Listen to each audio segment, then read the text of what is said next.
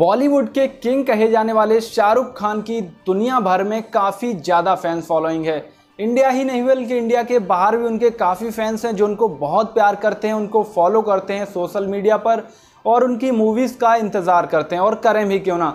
नब्बे के दशक से लेकर अभी तक शाहरुख खान ने बहुत ब्लॉकबस्टर मूवीज़ जो हैं वो अपने फैंस को दी हैं। लेकिन 2018 में आई उनकी एक मूवी ज़ीरो के बाद से वो बिल्कुल गायब हो गए थे। आनंद एल रॉय के डायरेक्शन में ये मूवी बनी थी और इस मूवी ने बॉक्स ऑफ़िस पर कोई खास कमाल नहीं कर पाया था। एक फ्लॉप साबित हुई थी ये मूवी और इस मूवी को बनाने में 200 करोड़ रुपए खर्च हुए थे, लेकिन ये मूवी महज एक सौ छियासी करोड़ रुपए की कमाई कर पाई थी, जिसके कारण से ये एक फ्लॉप साबित हुई थी और इसके बाद से शाहरुख खान ने जो वो है बॉलीवुड से जो अपना नाता है वो थोड़ा दूर कर लिया था और ब्रेक ले लिया था बॉलीवुड से और लगभग एक साल से ज़्यादा का समय होने वाला है। अभी तक जो है शाहरुख खान वापसी नहीं करे हैं और तब से लेकर अब तक शाहरुख खान की कोई भी नई मूवी नहीं आई है। एक साल से ज़्यादा का समय बीत चुका है और ये एक साल का जो समय है, वो उनके फैंस के लिए बिल्कुल भी नागवार नहीं गुजर रहा है। उनके जो फैंस हैं, वो उनकी मूवीज़ का इंतज़ार कर रहे हैं, उनसे पूछना चाह रहे हैं कि आपकी जो नेक्स्ट मूवी है, वो कब आने वाली है। और आपको बता दूँ कि इस तरह के क्वेश्चंस बहुत ज़्यादा अभी आ रहे हैं। ट्विटर पर एक हैशटैग वायरल हो रहा है, हैशटैग जो है वो ट्रेंडिंग में चल रहा है।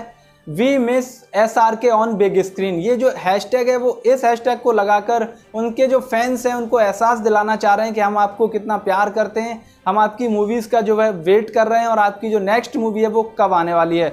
और इसी तरह के हैशटैग को लेकर ट्विटर पर या और भी जो सोशल मीडिया प्लेटफॉर्म हैं, यानी कि फेसबुक हुआ और इंस्टाग्राम हुआ, इन सभी पर उनके जो फैंस हैं, वो पूछ रहे हैं कि शाहरुख खान की जो नेक्स्ट मूवी है, वो कब आने वाली है। सो मैं आपको कुछ स्क्रीनशॉट दिखाने वाला हूँ। आप लोग देखिए किस तरीके से लोग उनके जो फैंस हैं, वो कह सकते हैं कि जबरा फैंस हैं, वो पूछ रहे हैं कि आपकी जो नेक्स्ट मूवी है, वो कब आने वाली है। और आपको एक दो जो ट्वीट है, आप लोग अपनी स्क्रीन पर देखिए। पहले हैशटैग लगाया है we miss S R K on big screen उसके बाद में क्वेश्चन किया है please announce your next movie we again want to listen आ रहा हूँ मैं बैक विद द बैंग ये उनका जो डायलॉग है, वो है रईस मूवी का। और इसके बाद से और भी कई सारे ट्वीट्स हैं। एक जो उनका फैंस है, वो बोला है कि आप नेक्स्ट जो बायोपिक आने वाली है ए पी अब्दुल कलाम की, उसके लिए बहुत ही ज़्यादा फिट बैठेंगे। आप उस मूवी को, आपके अलावा कोई अच्छा नहीं कर सकता है।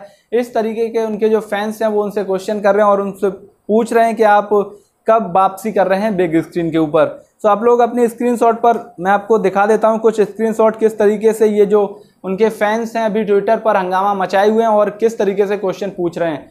और गैस अगर आप लोग भी शाहरुख खान के फ़ैन हैं और शाहरुख खान की मूवी का वेट कर रहे हैं तो कमेंट बॉक्स में बताइएगा। और अगर नहीं भी हैं तो आप लोगों की क्या राय इन पोस्ट के ऊपर जो ट्विटर पर अभी चल रही है और क्या हैशटैग ये जो चल रहा है, इसके ऊपर क्या राय है, किस तरीके से आप लोग देखते हैं, क्या शाहरुख खान वापसी करने वाले हैं, क्या फिर जो मैंने टाइटल दिया है क्या शाहरुख खान अब उनको जो मूवीज़ हैं वो कब मिलने वाली हैं, किस तरीके से आप लोगों की राय है, ज़रूर कमेंट बॉक्स में बताइएगा। और अगर वीडियो पसंद आया हो तो लाइक करना बिल्कुल मत भूलिए। और आगे ऐसी वीडियोस देखने के लिए हमारे चैनल को सब्सक्राइब करने के साथ साथ बेल नोटिफिकेशन को भी प्रेस कर लीजिए। तब तक के लिए धन्यवाद। जय हिंद।